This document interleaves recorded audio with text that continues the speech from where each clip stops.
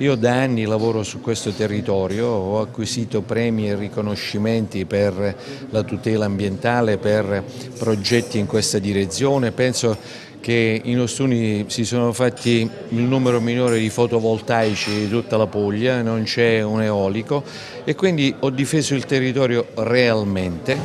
mentre forse altri perdono tempo. E allora il lavoro che abbiamo fatto proprio per adeguare la nostra strumentazione urbanistica generale al PUT, che era la norma in vigore poi fino due mesi fa, non voglio che sia gettato alle ortiche. Ora vedo che c'è una disponibilità a fare un percorso del genere, anche se io non voglio fare il tecnico, il giurista, pur avendo i requisiti e le competenze per farlo. Però ecco, mi esprimo dal punto di vista politico, c'è bisogno che attraverso opportuna normativa si tuteli il lavoro che i comuni come Ostuni hanno fatto e che va recepito eventualmente solo ecco, verificata la compatibilità e conformità alla strumentazione regionale e non il contrario, proprio per un discorso di decentramento, di coinvolgimento e di copianificazione. La nostra andrà verificata se è compatibile, non dobbiamo sempre noi adeguarci a quello che gli altri decidono e ci impongono. Io so bene che c'è una zona 167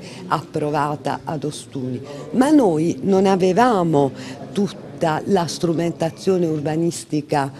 regionale eh, da eh, confrontare, avremmo commesso degli errori, magari avremmo inserito la 167 di Ostuni e non una lottizzazione privata che tra l'altro